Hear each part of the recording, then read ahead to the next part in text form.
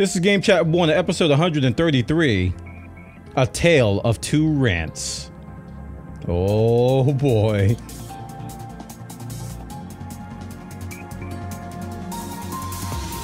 You found Game Chat with Bwana. Welcome to the show. Now here's your host, Bwana McCall, with all the gaming news of this week. Uh, by the way, that's me. Greetings, folks, and welcome to episode 133 of Game Chat One. We got a great show lined up for you. Welcome to the show. Today is April. Well, March is over. I warned you guys. April 3rd, 2019. And always, man, every I've, I've been doing this a long time. And every time I do a show close to April Fools, finding stuff to talk about is always difficult because there's so much jokes and gags and just fake news out there. But today's show is actually it's going to be easier in a, in a kind of way. Um, it's we're we're, we're only going to focus on two stories, and the reason why I'm doing that is because they're so beefy and juicy that uh, it's just going to warrant the entire time. I, I had some other stories lined up. We were going to talk about some stuff with Valve and Artifact and their their reimagining of that. You can go look that up.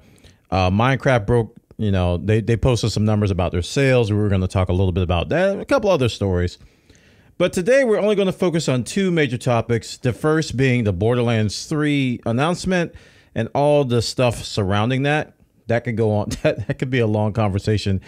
And the last is going to be even a longer one. It's about Anthem and what possibly went wrong. A big, big post on Kotaku is going to be probably the main focus of this show. So sit back, relax, grab a cup of coffee, tea, water, something and enjoy the show. Let's do it.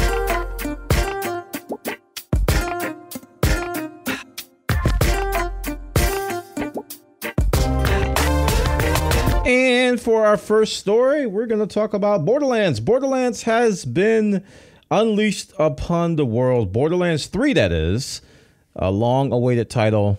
Uh, this past week, we've both both heard about the, the announcement of the series coming out, and yesterday, uh, actually, I think it was today. Uh, the official release date has been announced.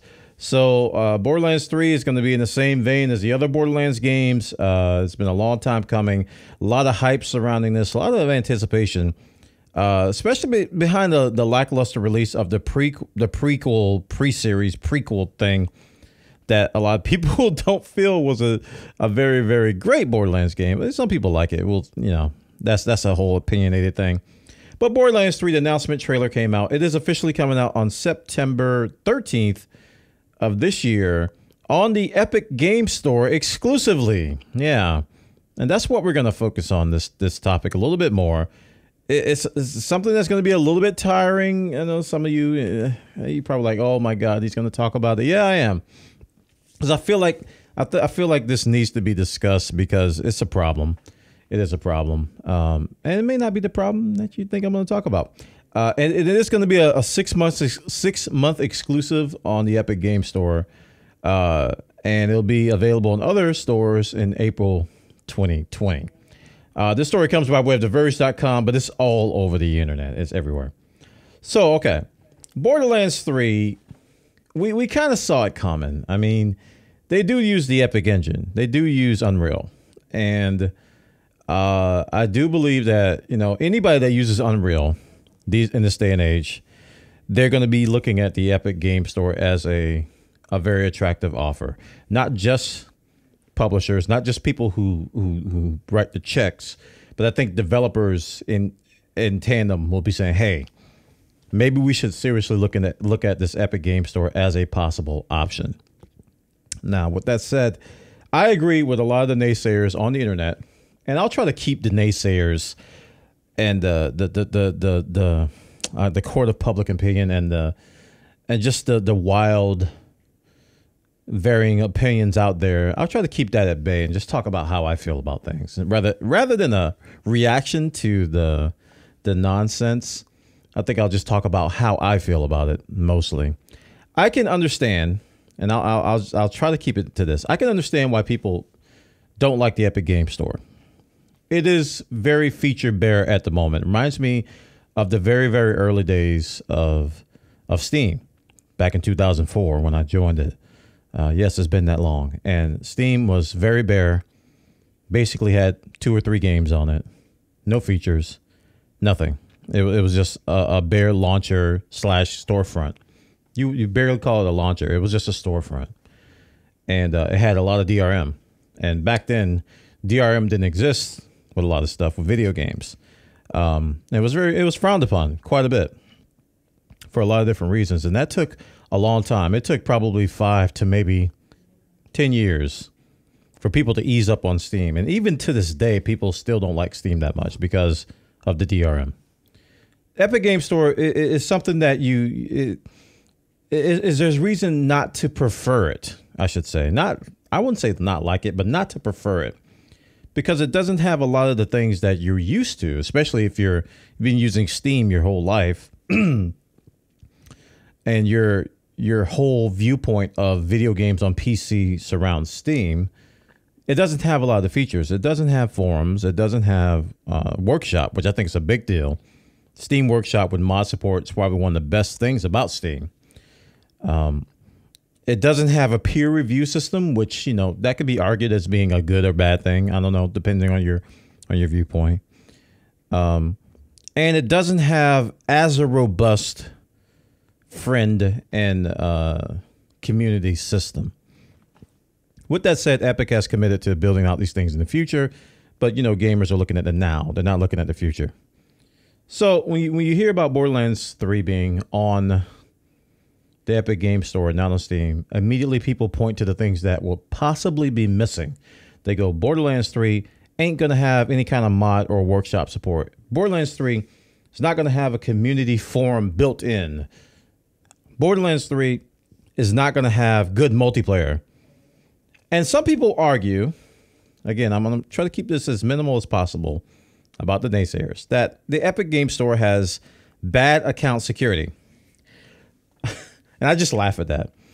I don't know if I, I it could be a short term memory thing or something, but over the years, Steam and security issues and account stealing and loot boxes and Counter Strike stuff and Dota stuff and people's accounts being hacked via messages and accounts being hijacked and scams has been off the freaking charts. So I'll just I'll just lead with that. That Steam's account security ain't all roses and gravy either.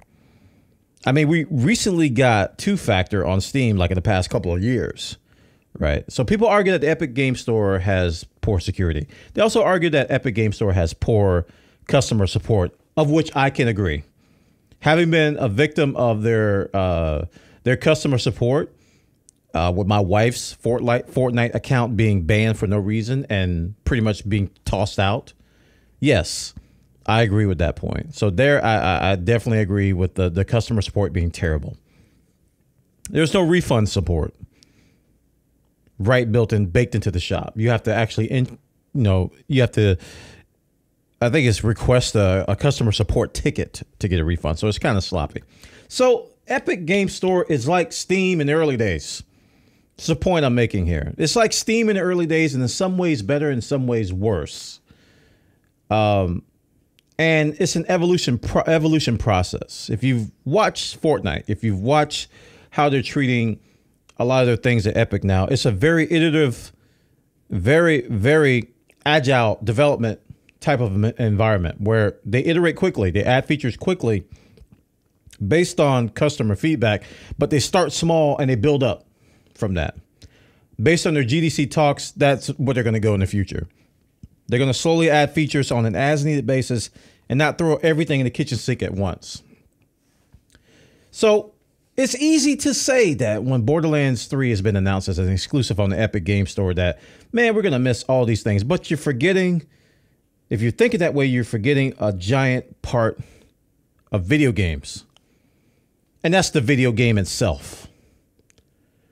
PC gaming right now is in the battle with console exclusivity, which means that games like The Last of Us, games like uh, uh, God of War, we don't even see those games on PC, period.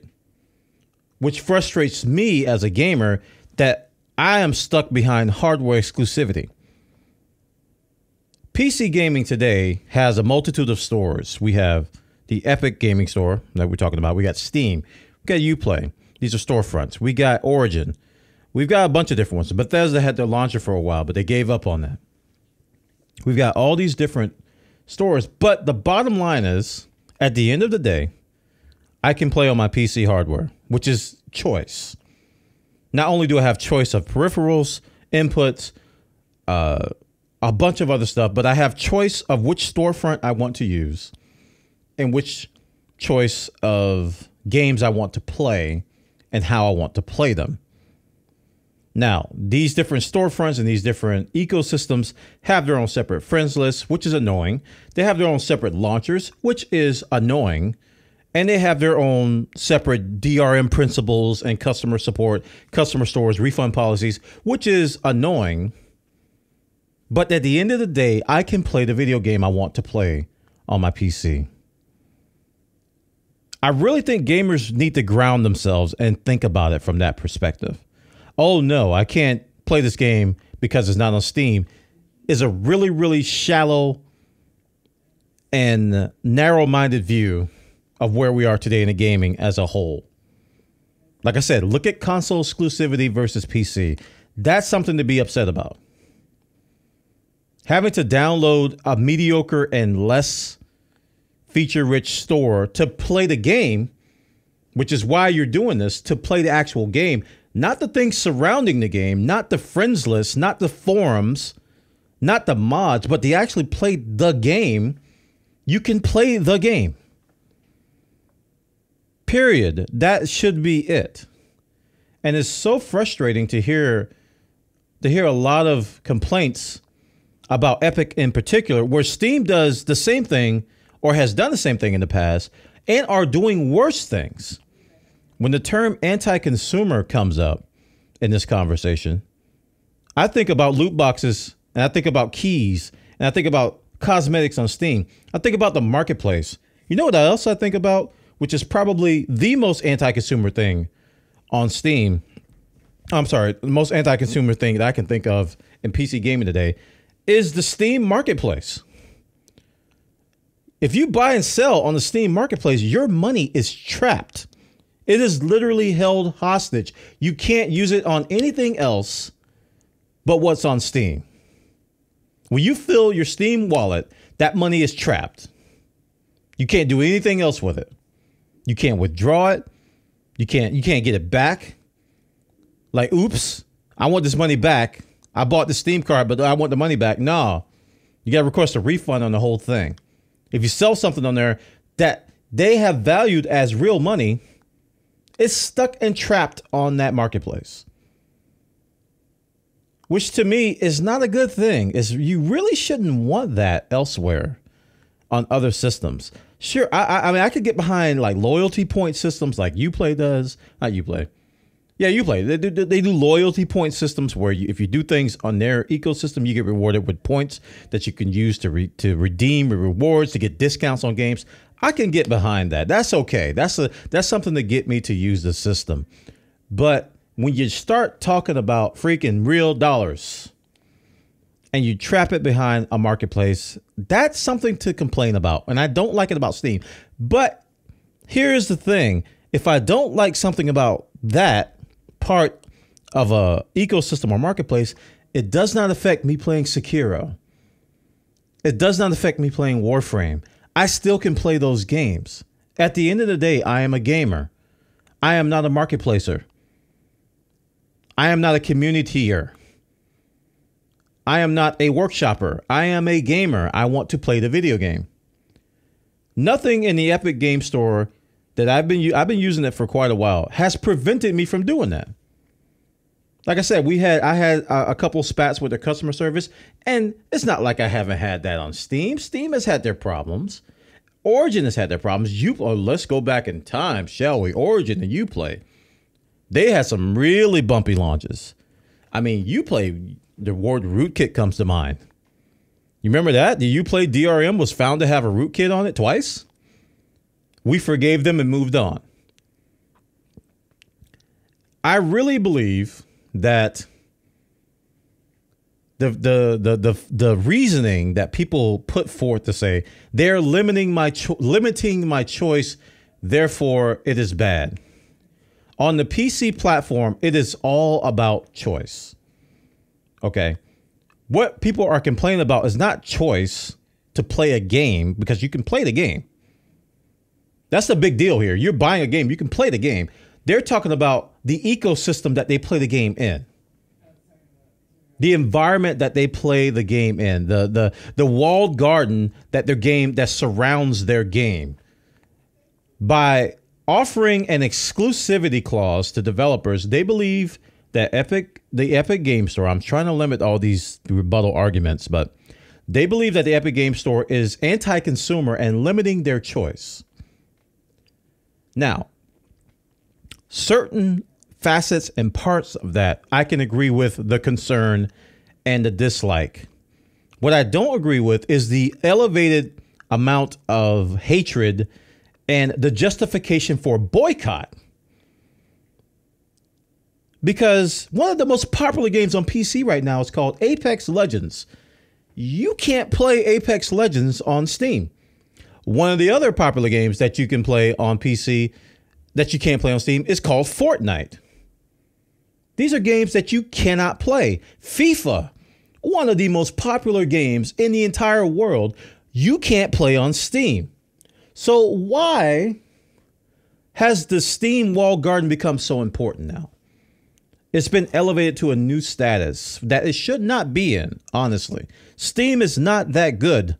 I hate to break it to you. Steam is not that good. You may have invested a lot of time and money. You have a lot of games on Steam. You have a lot of investment, but that doesn't make it good. It has a large feature set because it's been around for 15 years. And, you know, that's time based. That's not really quality. Steam is a pile of garbage, and Valve is just now starting to fix it up. Whether you agree to that or not is an opinion, but that's mine. That Steam is just terrible right now. And hey, the Epic Game Store is no better, right? But look, they've got competition. And this is something Tim Sweeney said that I want I want to emphasize a little bit on. The only way to combat the Steam monopoly, because there is a monopoly, that's not a debatable point. Steam dominates the entire PC market in margins that are unfathomed. When you when you're faced with a monopoly like Steam, if you want to compete with that, you have to go with exclusives because given the choice, given the choice of Steam and something else, the vast majority of gamers are going to choose Steam. Now, I'm not talking to you, the user of GOG. I'm not talking to you, the user of Origin. I'm talking about the vast majority of gamers out there will use Steam. You can have the better store. You can have better features. Features better features, and this this has been argued many times. I mean, in DOJ uh, and Department of Justice hearings with Microsoft and their monopoly trials and everybody, you can have better features to combat these monopolies, these monopolistic practices. You can have a better store. You can have a better experience. It can be so much better. But given the choice between that better experience and Steam, which is the market leader, gamers are going to choose Steam having a better product is not enough. You can disagree with me all day. As a consumer, I want a better product, but it's not enough. Just look at Twitch. Let's look at Twitch as an example. Twitch is not the better product. When it comes to features and experience and and how live streaming is done, YouTube and Mixer do a lot of better things than Twitch. It is not the better product. It isn't but it has the market share. It has the mind share. It's not necessarily monopolistic as as Steam, but Twitch is lacking in a lot of ways. But people still use it. The better product doesn't always win. Anybody with any kind of business savvy knows this. The better product doesn't always win. You have to do other things. You have to get people to use your product instead of your competitors. Now, software exclusivity is not as evil as I think people think it is. Hardware exclusivity requires you to buy an entire machine. Like look at Apple. Look at look at Apple and Android and look at Sony and Microsoft. That requires you to buy a specific piece of hardware in order to use software. That combination I do not like. Okay? I don't like that.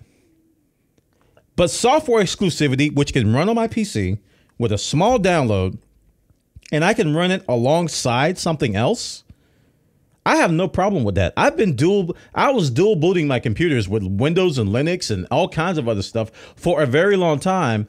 There's stuff that only works in those platforms, in those gardens, in those in those areas, but it's software exclusivity. You got to understand software exclusivity is not that evil if your PC can run both without one tainting or hindering the other. if one product is not tainting or hindering the other and they can run perfectly alongside each other, I don't see anything wrong as long as I can get to the product. Again, the walled garden of the Epic Game Store, the walled garden of the Steam marketplace is what's driving people crazy right now. But we're gamers. Shouldn't the game matter? So what? You don't get Steam achievements. You can get achievements right in the game. You don't get anything special for having Steam achievements other than clout. So what if you don't have those achievements? You can have achievements right in the game. Borderlands 1 gave you a ton of XP if you got achievements. So what? You can't have your workshop right off the bat. So far, I mean, it's it's a kind of a good argument, but so far you can't. so what if you can't have full-blown mods day 1? What game ship would would mod support day 1 these days? Not a whole lot. There are some, but not a whole lot ship with mod support on day one. So what? You can't have your forums, your built-in forums. I'll, I'll be honest, hand up right now. I never use Steam forums. If I have a problem, I never use Steam forums. I go to the I go to the subreddit or I go to the, the, the company's forums that they have. I never use that. So if you have to have that, I don't understand why that's such an important thing. I really don't. So if you don't understand my, my, my viewpoint on this, I think the emphasis is being thrown around and a lot of misinformation. Listen here, people are making up stuff every newer.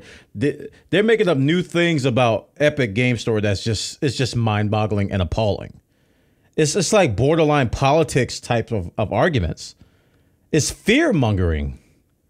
You're scaring people off the platform, calling the calling the Epic Game Store spyware talking about your account will be compromised if you use the Epic Game Store?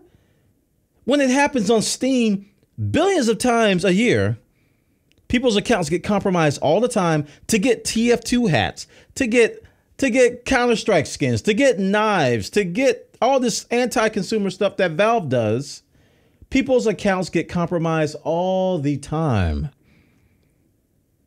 but yet now is super important on the Epic Game Store because it's threatening your your precious flowers and gardens in Steam. You've got four hundred and fifty dollars in Steam monies from selling all kinds of of cards and, and and trading skins, and you don't want that to be compromised. You can't spend that trapped money from Steam on something else. So you're gonna blame Epic because you're trapped on Steam. Your money is trapped, but it's Epic's fault. Uh, no, no. This is about video games, everybody. This is about video games. You can play the games. You can't play God of War. You can't play you can't play The Last of Us on your PC. That's a reason to be concerned. That's a reason to be a little bit, you know, perturbed. You can play Borderlands 3 on your PC.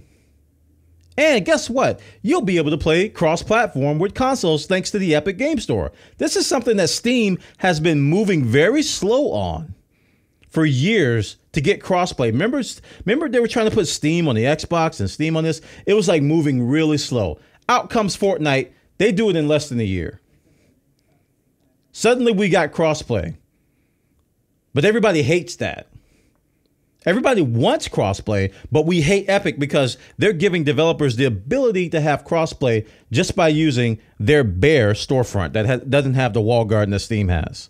But yet and still, your gaming experience will be enhanced by 10,000 times because you'll be able to play with PS4 and Xbox players that don't have a PC. But you're mad because you don't have your workshop you don't have your forums. You're mad because because Epic Game Store used a local file to, to import your Steam friends rather than going to the Steam API. So you've dubbed it spyware. You're mad. Not because of the game, but because of the freaking storefront and the freaking walled garden. You need to take a step back, gamer. I'm talking to you, gamer. You need to take a step back and look at what is actually being offered here. A video game, a walled garden, and an ecosystem. People get invested, man. It's like it's like Mac versus PC. It, it, it's like it, it, it's like PS4 versus Xbox. It's like it's like iOS versus Android. They get invested in their ecosystem so much that it becomes a religion cult type of thing where I can't use anything else. And like I said, those situations, I can understand hardware exclusivity being an issue because that's a very expensive decision. You make that decision, you're thousands of dollars in the hole to go try something else. We're talking about a free download of a, of a game store, a free download, people free. They're not charging you anything. Seriously.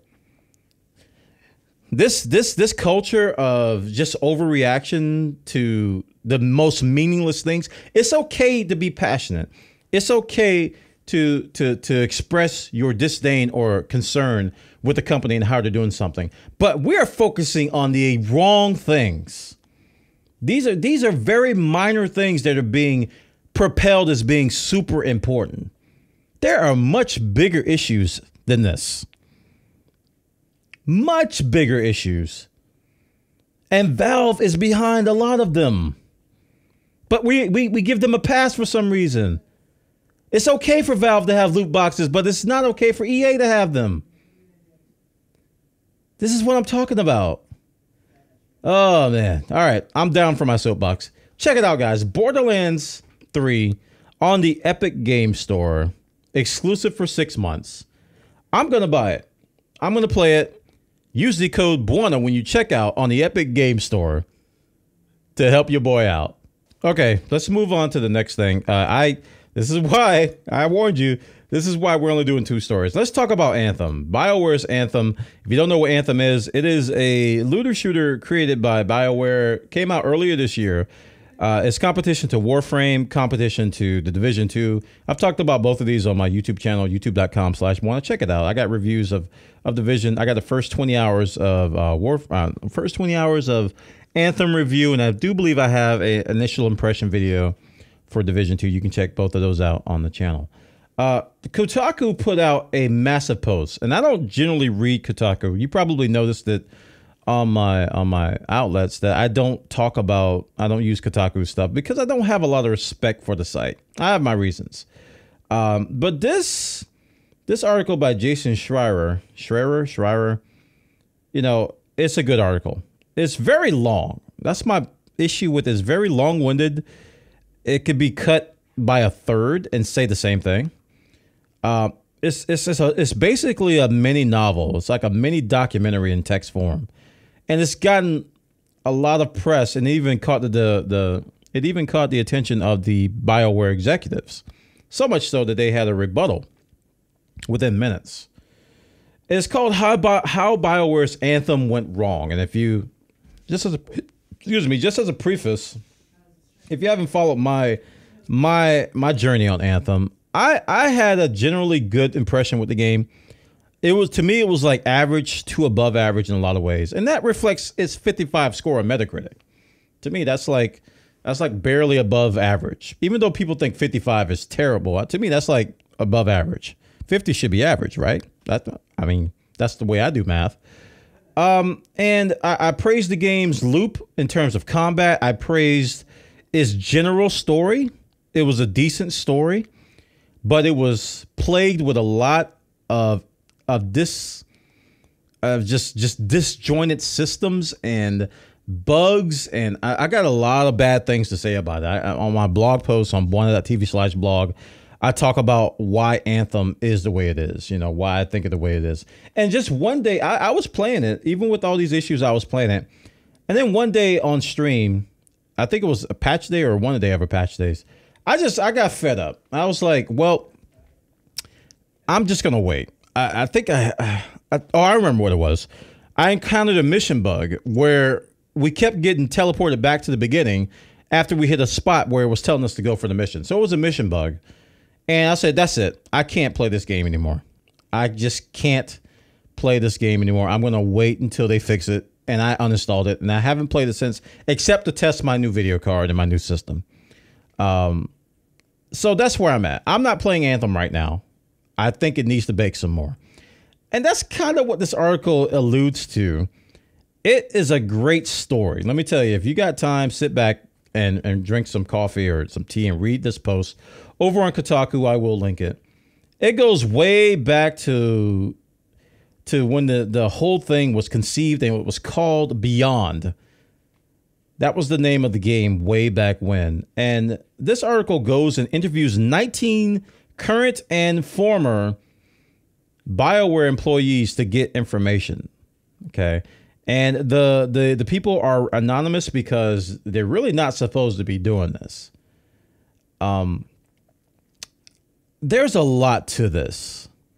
And it stems from uh, the, their whole lack of focus. I'm trying to summarize this as much as possible because there is so much in this. It goes back to when the game was first conceived and nobody really knew what they wanted to do.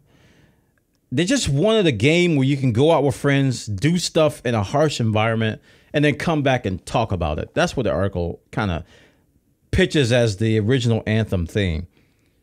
But all the little details in between that changed dramatically over the years, shifted focus, people left the company, leadership was changed multiple times. And I have experienced this firsthand. In my workforce experience, I have experienced this exact thing. I was on a project, management shifted multiple times on a on a seemingly unfixable thing. And it was a train wreck just continuing to move and just never stopped. And that seems to be what this this anthem thing turned out to be. There's just there were so many problems with the development process with lack of focus. Okay, let's talk about the lack of focus thing first. So many times, as this article points out, nobody knew what they were building. They had no idea what the game was going to be about. They couldn't they could if, if you asked them what the game was, they couldn't tell you because the focus of the game kept shifting. And it's, it's, it's one of those one of those situations where if you're working on something and you don't know what you're building and management can't make up their mind what they're building, you go into this cyclical loop of uncertainty and just meaningless work and time just continues to move on. Next thing you know, six years have passed. We got a release in six months. Oh my God, what do we do? That's what happened with Anthem. They were in this loop of just uncertainty and just nothing was getting done. No decisions were being made. And then all of a sudden, they had to release in the fall of 2018 and they were not ready. So they went through a, I believe it was six to 12 months of just extreme last minute, oh my God, let's ship it. And it kind of makes sense if you look at the state of the game. There's so many unfinished and and so many incomplete systems in Anthem that it kind of it, it it speaks to that. And a big, big, big bullet point of this article is just the work atmosphere that was at BioWare. Here's a quote that says Many say that their coworkers had to take stress leave a doctor mandated period of weeks or even months worth of vacation for their mental health. One former BioWare developer told me that they would frequently find a private room in the office, shut the door, and just cry. People were so angry and sad all the time. Depression and anxiety are an epidemic within BioWare. I can't I actually cannot count the amount of stress casualties we had on Mass Effect, Andromeda, or Anthem, said a third former Bioware developer in an email. A stress casualty at Bioware means someone has such a mental breakdown from a stress, from the stress, they're just gone for one to three months and they don't come back sometimes. Wow. So I, I mean, different takes. You know, it's, it's some people may see it as that. Some people may see it as a party. Because I've been in stressful environments, and some people thrive off that stuff. But that's that's harsh. If you can if you can justify that that's true, that's something that's actually happening, that, that people get so stressed. I mean, and it's a documented fact that so many of the original Bioware developers have left. Not just the big names. A lot of people that worked there from the, the early days are gone. They left. That kind of backs up this story. Um, and another big thing about this this whole anthem story is what something that we gamers kind of propagated. Gamers like to compete. Let me tell you, man. There could be anything going on in gaming, and a lot of video gamers choose sides. Whether it's a side to an argument, whether it's a a platform, whether it's a game, Warframe versus Destiny, whether it's uh, World of Warcraft versus Final Fantasy, it's Battlefield versus Call of Duty. We just have to choose sides, man. It's Epic Game Store versus Steam. I just talked about that. And one of the things that we gamers propagated with this whole Bioware thing is the development studios. We even gave them names. We got the A team, the B team, and the C team. We got the the Edmonton studio, which is the A team. These guys made uh, Mass Effect and um, uh, Dragon Age, I believe, right? Yeah. Uh, then we got the Austin team, which made uh, Star Wars: The Old Republic, and then we got the Montreal team. I think it's Montreal, which is like the the C team. So essentially, when you refer to the A team, those are supposed to be the good developers. Oh, Montreal didn't work. Or, I'm sorry, Edmonton didn't work on that, so that's why the game sucks. And the problem is, right now, in, in this article, um, that kind of attitude was propagating in throughout Bioware itself, internally. The Edmonton team essentially were uh, cocky and arrogant, according to the article. That they looked down upon the Austin team. They looked them at, looked at them as grunts. And we won't even talk about what they think about with the C team. That's kind of messed up.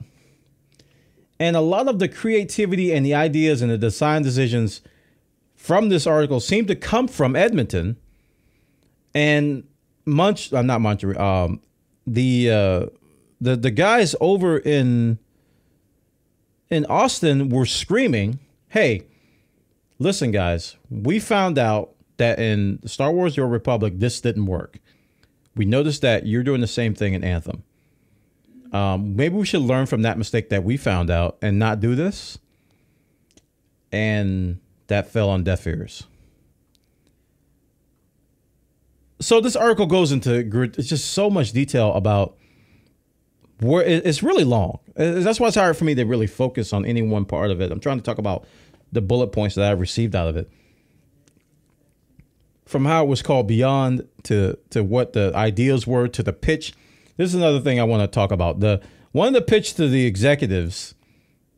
Um, this is something that the Bioware do every every year. They they create a demo for the employees to take home and play and come back with uh, to come back with feedback. So in twenty, I think it was twenty sixteen. Uh, they sent everybody home with the demo of Anthem. One of the executives came back and said that it was terrible, and he thought it was boring. So what they did was get this. They they tried to spruce it up to impress this guy, and they added flight because it was the big differentiator between it and other games.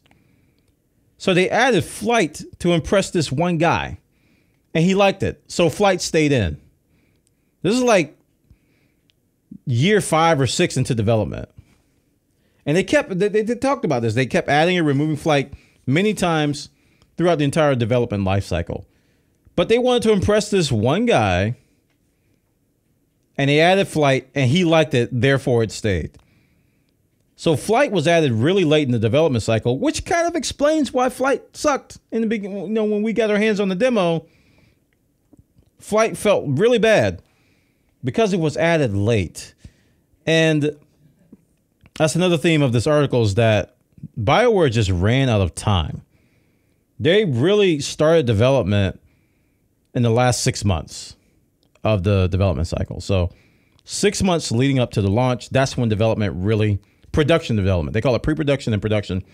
Production development really began, really, really began six months leading up to it. And one of the biggest issues they talk about, and this is not the first time I've heard this, um, is uh, frostbite. Frostbite is the engine used by, it's made famous by EA and DICE, main, namely with the Battlefield series. And as an end user of Frostbite, I'm a fan because Frostbite really looks good and it performs reasonably, reasonably well in a very, very large setting. So it was perfect for Battlefield. I can't really say it's, it's also perfect for Battlefront too. I think those types of games it works really well. I can't say that there's a Frostbite RPG that I really thought was great. So this article goes on to say that Frostbite is full of razor blades, as one former BioWare developer put it. Uh, this engine is so bad in terms of uh, just documentation and how things are written and how things are structured that anybody outside of Dice who tries to use it, I mean, is uh, I think the word is a lot of terms for this where there's undocumented engines and stuff that people try to take a, take over and use that they can't, but they just could not could not cut it and the people behind Dragon Age Inquisition in 2011 said the same thing. Said that trying to use Frostbite to do anything takes twice as long. So here's a, here's a compounded issue that's happening. I think that's the word of the day for this situation. It's a compounded issue. Here you have a really bad development process. You've got shifting leadership. You've got lack of focus. So let's say you have a bug or a software hurdle or hurdle to get over. Not only do you have all these problems process and procedure wise, but now you've got a really, really, really convoluted engine to use, and it takes twice as long, sometimes three times as long, to fix a small bug. This is what this is what. And when you talk about this story, man, you kind of feel sorry for the developer, for for the employees that had to go through this. You kind of feel sorry for them because this is like the worst case scenario for a lot of development teams out there. You've got this big overbearing pressure from EA to release in the fiscal year because that's what you committed to. You're doing everything wrong. You're taking way too long to do it. And you're using bad tools on top of that. That kind of leads credence to the whole stress leave thing. That's that's a very bad situation to be in. Here's a quote. Frostbite is like an in-house engine with all the problems that entails is poorly documented, hacked together, and so on, with all the problems of an externally sourced engine. Nobody you actually work with designed it, so you don't know why this thing works the way it does, why this is named the way it is. This is from a developer. Throughout the early years in development, the Anthem team realized that many of its ideas they've originally conceived would be difficult, if not impossible, to create on Frostbite. And I've, I've, like I said, I've heard this from other people that the engine is not as flexible as Unreal, and I think that's what uh, this executive here. I keep referring to him as executive. Let me get his name here. Uh, it's Peter something, I think. Uh, I'm probably going to mess up his name. Um, I'll find it at some point. There's so much to talk about here, guys. I'm sorry. It's it's kind of hard. It's like it's like it's like Anthem. It's hard to stay focused. He he put out a directive. This executive he put out a directive that every game at EA should use the same tech. We're not going to license any more engines. We got Frostbite. Frostbite can do anything. Apparently, that's what he believes. I believe personally, Frostbite can do shooters. massively world big world shooters like uh, like uh, Battlefront 2, and it can do things like Battlefield. Uh, but I don't know if it's it can do a looter shooter. And I think that's what the team in Anthem found out. That you know you've got a lot of static stuff in those situations. You you got some progression, but it's not like a looter shooter progression. Here's another great quote. It's hard enough to make a game. It's really hard to make a game where you have to fight your own tool set all the time. I think that that kind of sums up the whole frostbite thing. So moving on, it's, it's, it's so much more, man. Uh, this game was in pre-production for four years. Pre-production for four years. The last couple years, I think the last I think I said this. The last six months is where production actually really kicked in. I, I don't know what to say, man. Anthem is is is is, is a it's a cobbled together mess that has some bright points. It has some really good bright points. You can tell where the work went in from the developers, but it's like putting together seven different puzzle puzzles. Let's say you get the same picture, right? You get the same picture, but you've got four different versions of that picture and four different puzzle boxes.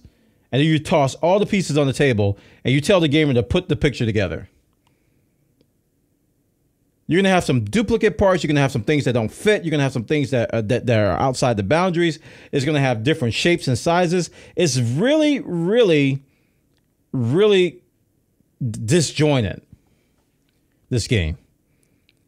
And honestly, it's sad to see because it has such great potential. Who in the world, who in their right mind wouldn't want to play an Iron Man looter shooter?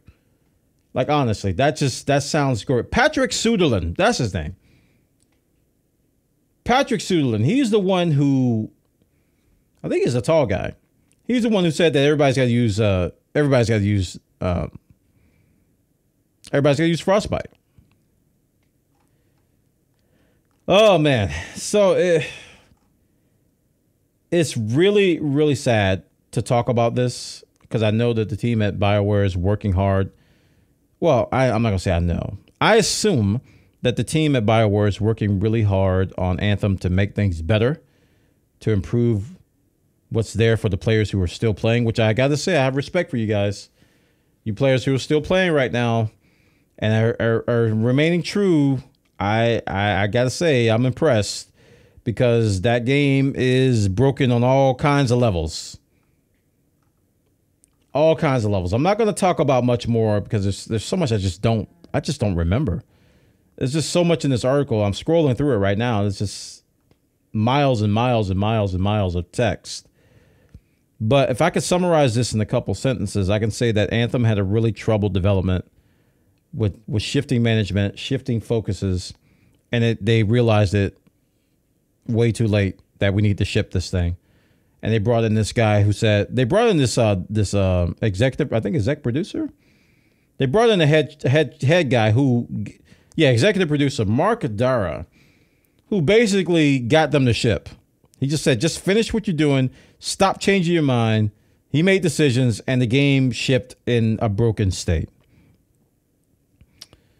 That's why I mean some people say, "Oh, EA didn't give BioWare enough time." This article really summarizes how I feel about that statement. It's not always EA. Publishers give you deadlines. They give you they give you reasonable deadlines and you can't blame it all on them. This is a broken dev shop. Period. We're seeing it with Bethesda as well, and we're starting to see the cracks at Blizzard. This is a broken dev shop. You can't blame that on the publisher. Okay? You can't blame that. When they're fighting each other internally, when you've got the high and mighty Edmonton people looking down on the Austin people, you can't blame EA for that. When you've got okay, you can't blame the frostbite stuff on EA because if they're pushing frostbite on everybody, that could definitely hurt things. You can blame that on EA. Um, but still, man, it it you can't you can't fix something like this. To say that they if they were given more time, I really think they just would have spun their wheels until the last minute. Again, they have this thing called Bioware Magic that they mentioned in this article where they don't worry about anything because it'll all come together somehow. I kid you not. they don't even. They, it's like magic. They go, well, uh, I don't know what we're gonna do, but do the Bioware magic will, will happen. Somehow things will work out. And I, I haven't been in the middle of uh, crunch. It takes a lot of personal sacrifice, stress, and stuff to make that happen, and to just shrug it off as magic is not only it's not only uh, disrespectful for the people who sweat blood and tears to just call it magic and not hard work, but it's also really, really short sighted and irresponsible to even rely on something like that when things are bad. They say, well, at least we've got Bioware magic. That's irresponsible. That's really bad. And I would leave the company too if somebody said that. It's like, it's okay if we're behind. You guys will pull it together somehow. Ha ha ha. I'm going to get a drink.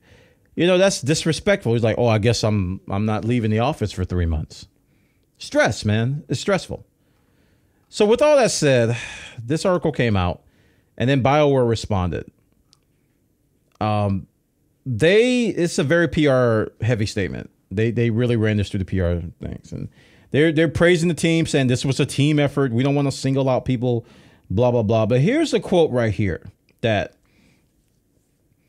um, I think is why they're getting ridiculed for this because the, the, general consensus from the court of public opinion is that this was a bad response. I think it was a decent response until they got to this.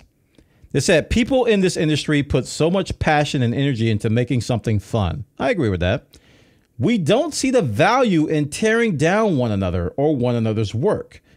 We don't believe articles that do that make our industry or and craft better. Listen here, man. That is so that's such that's such a terrible thing to say. That's deflection. That's not taking responsibility. That's basically calling Kotaku a villain for reporting what employers are saying, employees are saying. Not once in this Kotaku article did I see anything personal or it was a very well written article. I didn't see anything that was biased. What I saw was a summation of what employees and former and current employees were reporting. It was very, very neutral from the Kotaku standpoint, which is rare these days in journalism. It's very, very neutral.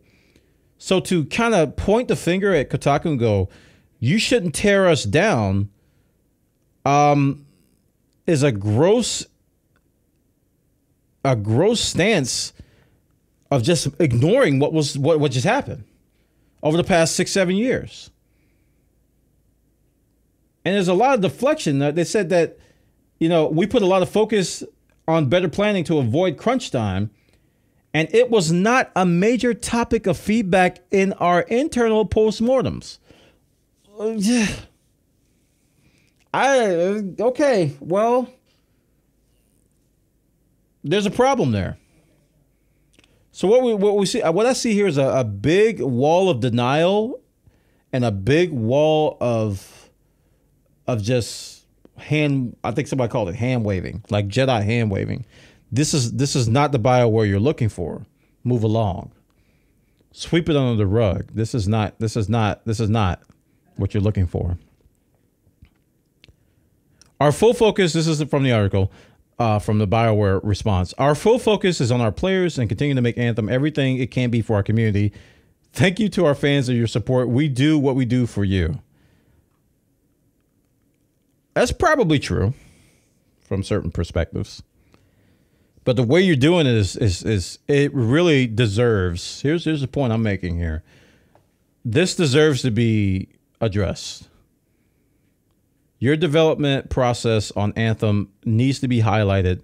And I think there's a quote in this. Yeah, there is a quote that says that um, there were people that hoped that that Dragon Age Inquisition would do bad because it would teach Bioware a lesson as to not this is not how you do not how you build games. So I don't think I don't think they've learned that lesson because Anthem sold so much. It was successful from a sales standpoint. And I don't think they're they're learning that this is not how you do it. And here's the problem with entertainment. Here's the problem with entertainment. A lot of people are like, well, if you don't buy it, they won't do it. It ain't that simple. Not with entertainment. if we're talking about a, a, a household product like a, a, faulty VCR or I said VCR, a faulty refrigerator or a faulty uh, microwave, or you know your your your table falls apart, you can easily vote with your wallet on that because that's pretty that's pretty that's static. I mean that's that's like objective. That's logical. Entertainment is not logical. Entertainment is opinion, fun base, depends on a lot of emotional variables. You can't just say don't vote with your wallet because somebody may want to play that crap. That, that stuff that's out there. They want to play that. They want to do that. You can't just vote with your wallet because there's people out there that want to do it. They may not know all the issues. There's there's a lot of information that that's just not available when it comes to entertainment. It's not like a hard hardcore product like a table or uh, an appliance, you know, where it either breaks or it doesn't, and you can just go out, you know, if you just it just develops a bad reputation. And even then, in those products, there's a lot of gray area that people get around. You can't just say vote with your wallet. Okay. You can you, you can educate like what I'm doing in this podcast. You can educate people as to what happened, what's happening with the game, what's wrong, but to tell people to vote with their wallet is like saying, don't go see that movie. They're going to go see the movie if they want to watch it or not. Okay. Boycotts, that's why boycotts and stuff like that just don't work. What does work is when a game is so bad, not to not, not telling people to vote with their wallets, but when a game is so bad and is so broken that when the developer comes out with another game, it doesn't sell because of that. Not because you're telling people to vote with their wallet, but because it was just so awful that people who bought that game, they see the next one, they go, I ain't buying that. Look at War Z. War Z is a perfect example. That developer who developed War Z, everything he touches, nobody buys. They still have a following, but he has developed a reputation, Sergey, he has developed a, re- a reputation that whatever he touches is going to fail. And that's not based on voting with your wallet. That's based on just experience people experiencing bad product. Really, really bad product. That's where the product speaks for itself. And I think that's what needs to happen to BioWare. And I think they're really close to that. Blizzard is, is experiencing it too. Overwatch is on a massive decline. Diablo is laughable now. World of Warcraft is ready is ready to, is ready to kill itself. They're, they're ready to go. It's ready to go. It's on its last legs. They've revived Classic and it's ready to go. So these big studios, which once seemed unstoppable, are now starting to falter because people are starting to see through it. And then you got other titles like Fortnite coming up from a studio that made Unreal Tournament. You know, that this new generation is latching onto and loving. And the old guard is like, well, we want to do Fortnite too. But you can't. They're winning the hearts and minds of these kids. So whatever Epic does in terms of a store, now the Epic Game Store is building on that trust. They're they're they're betting on the future. You guys who stuck on the Steam Steam wall garden are living in the past. Epic is betting on this this Fortnite generation. These kids, they're gonna grow up, they're gonna get jobs, they're gonna get degrees, and they're gonna have Fortnite still installed, and they're gonna be playing stuff on the Epic Game Store. So the hearts and minds of people are one not at telling them to vote with their wallet, but it's their realization of a bad product. And there's only so much fanboyism out there. I mean, you can only fanboy Anthem so long before you go, all right, this game's ridiculous. It's happening everywhere, man. Look at look at like uh Albion Online is trying to make a comeback right now. They're trying to win the hearts and minds of people. Uh, look what happened with ArcheAge and how so many people just stopped playing. They weren't voting with their wallet. Nah, they just saw what happened and they don't want it to happen. They're not going to go through it again. It's like a mind shift. It's like you, you it's, it's like a post mortem rather than a preventative thing. If people can remember what happened in the past, they won't they won't repeat it in the future. That's the point I'm making. Don't tell people to vote with your wallet. Say remember what happened. You know, focus on remembering what happened. Do you want to go through that again? If you do, then buy the game. If you don't, then don't. Because that's what that's the thing. And that's what a lot of people that's why I, I didn't get really mad at people that said, well, this is an EA game, so you know what's gonna happen. I mean, EA has a bad track record. It's a valid point. A lot of EA games have bad track records, but then you got people like you got uh, Respawn Entertainment, which is like the most anti EA company under EA, which doesn't use Frostbite, by the way. They use Source, which didn't use any EA marketing, pre marketing. When they made Apex Legends, they nearly dethroned Fortnite. It's kind of shifting back to Fortnite now, but in terms of mindshare and Twitch and, and YouTube. But they nearly dethroned Fortnite off of no marketing, pre marketing, and simply shipped a complete game. Who knew? Who knew that if you shifted a complete, if you shipped a complete game, that people would actually play it and like it? It wasn't this early access, half baked, half done stuff. It was a complete game. So check this out, guys. Why? What went wrong with Anthem? How Bioware's Anthem went wrong? It was incomplete. It was nowhere near complete. I don't think anybody out there who says that it was it was a complete game at launch knows what they're talking about. That that should go without debate. The game wasn't done. Still isn't done. And BioWare Magic just didn't work. It didn't work. Uh, and and players are, are, are hoping that they can pull off the magic post mortem. But I think you're you're looking at you're looking at something that's beyond repair. This is my opinion on Anthem. I think Anthem is beyond repair. I really do. I think there's only so much you can do to a video game without just completely scrapping it. Look at Final Fantasy 14. That game was beyond repair. Final Fantasy 14 was beyond repair. It had very similar issues. It had the old guard, it had arrogant people that wouldn't listen, and it shipped a crappy product and it failed. And the only way they fixed it was that they shut the game down and they just wiped it clean, clean and started over. And honestly, that's the only thing I think Anthem can do right now. That's the only thing I think they can do. I think they should just shut it down, close down the live service, give players who have access to the game access to the next one. Do exactly what Final Fantasy 14 did. If you bought Anthem, you'll get access to Anthem Reborn. Heck, even use the name Anthem Reborn. Shut down for three to four years and finish the game. Don't release a half release game. Just finish it. And if EA doesn't give you enough time, then just don't do it. Because right now, BioWare is sitting at a point to where in time where they're either going to be made or or not made by their reputation. They've got a good reputation for past games, and that's starting to falter. This new generation, I call it the Fortnite generation. This is like the the eight to fourteen year olds. This this eight to fourteen year old generation, they don't care about Bioware. And when they get older, Bioware is not going to be a name for them. It's going to be us old fogies. Going, oh, I remember Dragon Age, Mass Effect were good. They were like, well, Fortnite.